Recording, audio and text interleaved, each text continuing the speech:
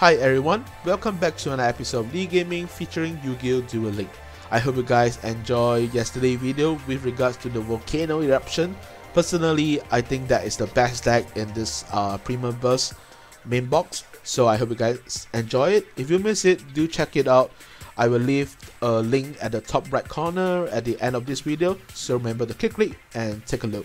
I know a lot of people is upset with the new burn deck that was featured in the main box as well. the uh, green monster with the bamboo that you can OTK people easily in turn 1. If you get the monster in turn 1, it's GG basically for everyone. Uh, a lot of my peers and my fam is asking me to feature it in my channel so I can get more viewers and stuff like that but to be honest I told them no I'm not promoting any burn deck to my family uh, because I think let's just have fun to be fair to everyone rather than you know I know sometimes you need to do what you need to win whether you win it uh, in a very tough situation or win it as a easy kind of situation but I just want to have fun dueling so I will be promoting more fun decks, destruction decks. If you know my channel well, you will definitely know what uh, my channel is all about. So without further ado, let's move on to today's deck. I'm featuring Risking in the Dark World. So I have spent a lot of money in this box to be honest, I'm not joking. I think I spent roughly about $200 in this in this box. It's, it's, a, it's a pain, I really regret it because um, I'm lacking the Dark World card, so that's why I've been pouring money just to show you guys the the cards and the potential. And I'm I'm quite disappointed. So let's move on to the deck first. Without further ado, basically this deck is I have three of these UR card. It takes me a bit to get them. I have Dark World Lightning, the three UR card. This is uh, but I've tried about I would say 12 hours with different kind of builds and deck but this is the most viable kind of play that you can do work with it I using last gamble so that's why I call the dark world risk so let's move on to the description of the card so basically snow of the dark world if this card was discarded to the graveyard I can add one uh, dark world cards from my deck to my hand then special summon any target that you know I pinpoint at the opponent graveyard if there's any in face uh, in defense face up position. So the second effect, uh, well, you don't really see oftenly. It's always for the drawing mechanism. So I three of this. Because of the low attack power, so honestly, it's not really viable. It's just 1700. So if you mix with Yami or there's a few spell for adding 500 attacks for Fian, it's just take too too long to you know even sustain the game. So I partner it with Trench Outfield. So basically this card allows you to discard one field type monster and if I do I gain 500 attack. Well I'm, I, I'm not too much about the 500 attack, it's mostly about discarding. So I can use this as my discarding mechanism for the monster to discard uh, Snow and the other rest that I will introduce. So we have 3 of Ceruli of the Dark World. So basically if this card is discarded, my and is sent to a graveyard, I can special summon it in defense position in the opponent and which on my turn I'm his opponent, he can force me to discard one card. So basically, I would like to discard this, the Overlord of the Dark World, because when this card was discarded by opponent uh, effect, which is by Ceruli, if you do it right, you will see in the highlight how, how, how well that I maneuver with it. I can basically special summon it from my graveyard and I have two effects, either destroy all monster my opponent control or destroy all spell and trap my opponent control. So pretty OP with 2500 attack. So this is more like towards a OTK deck. Uh, you just have to last here the last gamble and most likely you will get the win. So it's about enduring and hoping that your opponent misplays somehow. And I have two Kaki of the Dark World uh, maybe you can have one technician and one card key because card keys basically when this card is discarded to the graveyard by card effect, I can target one monster on the field, destroy that target. So I would say still pretty okay. For technician of the dark world is basically destroy spell or trap card, so vice versa. So next we have dark world lightning. A lot of people is very high of this card, uh, but please do take note that you have to target one set card on the field, destroy the target, then discard one card the condition is you have to destroy the target. if that target is chainable and you can't dis discard one card, you are basically not able to fulfill the Dark World effect and this card is basically just let the opponent reveal what is the set card for you. So the viability I would say 50-50. Uh, basically this deck is run by the Cheerful Coffin. If you don't have two Dark World Lightning, don't worry about it. Just get the the Cheerful Coffin, three copies of it, you'll be fine with this with this deck type. So what does the Cheerful Coffin does is discard up to 3 monster card from your hand to the graveyard. So basically this is the drawing power, the discarding power. You discard the uh, Dark World to the graveyard and you can do all the shenanigans. Next we have the Forces of Darkness. I just plan to have one because I mean if you draw this one your first turn or second turn please kindly set it and you can just basically set all your monster to defense position just to hold on to last gamble. And when when you need it for last gamble you can use forces of darkness to get two dark world monster to from the graveyard to your hand. So the it is more i mean for recycling effect which is very vital for this deck build. I have tried a lot of other deck build but to be honest this is the best i can find so I hope you guys enjoyed this video. Do drop a like and subscribe and follow me on my Facebook for more updates and outlooks. So, okay. This deck is, I would say, it's not very competitive, but it's kind of fun. I mean, if you get the uh, OTK right. But it's a very expensive kind of fun build, I would say. I really regret, you know. But well, it's for you guys. So on this hand, I start out with four monster. So because of one set monster, I can just destroy it with ease. So I target one set card, destroy that target, and I send uh, Snow the Dark World, and I'm able to uh, mill out one card, which is very good.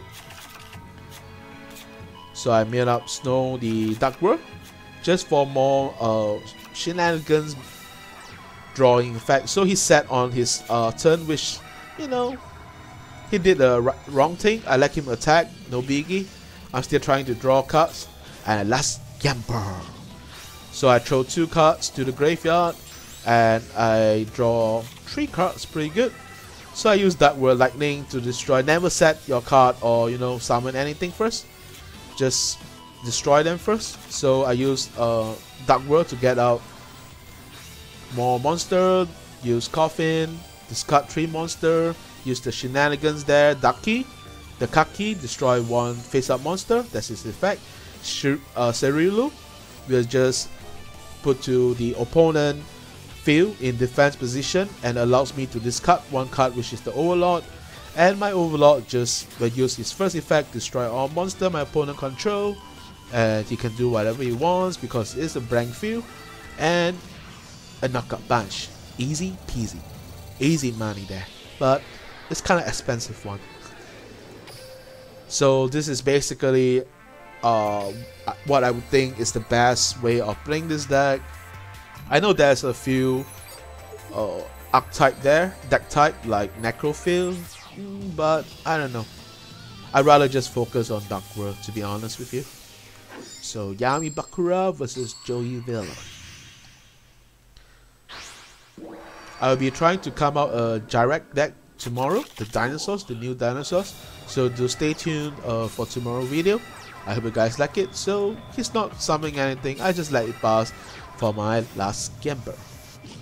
So I just cut two card because I have set the forces of darkness. So I can just throw out Ceruli, use uh, the Forces of Darkness to get it back. So I get more cards, Forces of Darkness, I got it back. So I'm gonna utilize my Dark World Lightning effect first. Why not? Just make use of it. So I have no cards. He definitely I will destroy them. No doubt about it. Kaki allows me to destroy a monster.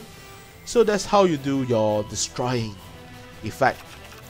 With a peace of mind. So the Cheerful Coffin now discard to Ceruli and you know the shenanigans starts there. So to Ceruli just in defense position allows me to discard two of my Overlord of the Dark World and special summon them attack position. And he just surrendered because on that turn, I will basically destroy the monster and the back row and it's an easy open field. So this is the deck type that I believe is pretty fun to, to play with. As of now, it's not easy in the PvP. There is just too much burn decks going on there. So I'm having a tough time doing promotion there to Legend. I'm really quite disappointed with Konami for that. So Legion of the Jester attack me. I just set 2 cards because I want to protect my life point. So which I did. Because I have the Forces of Darkness, I'm, I'm okay to just force up cards. So 4 cards, the last Gamble Risk. So I use Dark World Lightning Effect, destroy the back row, use Snow, the Dark World, mirror up my Overlord, and I just activate the Force of Darkness to get back more cards to my hand. Then I will just use Coffin, the Cheerful Coffin. This card, 3 cards, Kaki will destroy the front row. Snow will allows me to draw one card, Cerulean will special summon in defense to let me discard a card. Easy. This combo is so much easier and I hope that this video will allow you to understand the mechanism of Dark World and if you like this you may want to use you know invest on this deck on this box but to me so far I only enjoy playing volcanic deck I don't see any potential in the Lightsworn deck or the Cloudian deck or the Gem Knight deck. Unless you really like them in real life, then maybe... Okay, I misplay there. I set this card. If I put it in attack, I will definitely get an OTK. I will not get a knockout punch. So, you know, cause someone called me, so I was like picking up the, the car, So I lost my concentration a bit, but luckily, it is not. It does not distract me a bit, and I still can go for the win. Easy money. So the, next two highlight is showing you guys uh, the life without last gambler, how you can OTK your opponent without last gambler. Because it's it's real situational. It depends on your opponent gameplay and also your starting hand. So if the table is on the right side, you will win it without the last gambler. So here I start with a very good hand. Strange Art Fear, Ceruli, Overlord. So I know that the potential of winning before Last Gambler is there. So Mausoleum, I will know his special summon. My best animation. Let's just watch this. If you watch my previous video, the Dark Magician, you know I like this animation. So, okay, just let's take a look at Dark Magician. So Dark Magician attack me. No, no doubt about that. No back row. So, Strange Art Fear, discard Ceruli, special summon in defense position, discard my overlord, summon in attack position, clear the main field, easy peasy, easy money. So this is one way that you can win without last gambler if the table is set right for the knockout punch.